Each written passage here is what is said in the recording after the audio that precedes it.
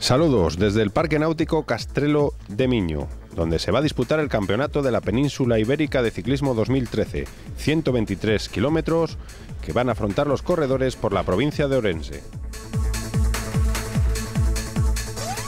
Salida, se rodaba rapidísimo por una orografía típicamente gallega, continuo sube y baja, donde los corredores intentaban hacer la escapada y poner tierra de por medio con el gran grupo, pero se rodaba a una altísima velocidad, pese a lo quebrado del terreno. Y muy prontito, en el kilómetro 27, se afrontaba el primer paso de montaña, el Alto de Fustans, de segunda categoría. Se lo va a adjudicar el corredor chileno del bicicleta Rodríguez, Edison Bravo.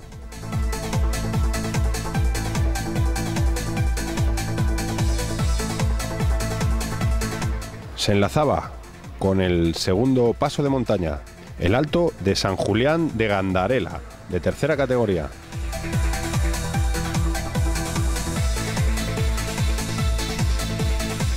Donde vemos cómo el bejarano Héctor Dueñas intenta la escapada atacando en el gran grupo. Estaba situado en el kilómetro 42.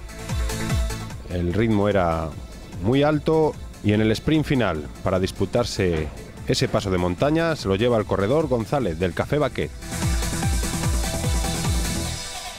En el descenso estaba situada la meta de San Rosendo en el kilómetro 45. Se la lleva el corredor Oleg Chugda. En ese descenso se fragua la escapada del día. La componen Unai Elorriaga y Airán Fernández del Coluer. La meta volante de Seisalvo en el kilómetro 84 se la lleva el corredor del Coluer a Irán Fernández. Y dentro de la capital de la provincia de Orense, unos rampones terribles del 22-24% afrontaban los corredores para coronar el puerto de tercera categoría, el Alto de Seguir,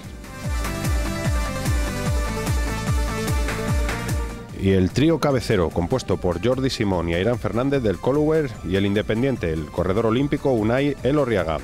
Corona en el alto en el kilómetro 91 Ayrán Fernández.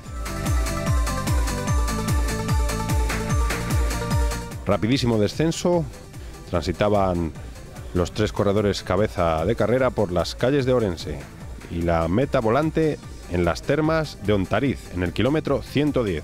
De nuevo para el corredor del Colower, Airán Fernández. Por detrás, un grupo de media docena de corredores y el gran pelotón.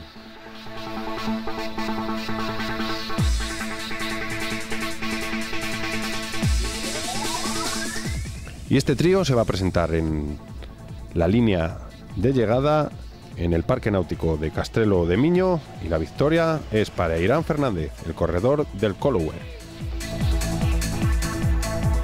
Colower sabíamos que Unai Elorria era bastante más rápido que nosotros, entonces teníamos que desgastarlo como fuera. Eh, yo soy un poco más rápido que Jordi Simón y entonces hemos hablado de que él le arrancara desde más lejos para forzar a Unai a el cambio de ritmo ese para que llegase con las piernas un poco más tocadas, mientras yo eh, a rueda suya luego para intentar remacharle en el sprint.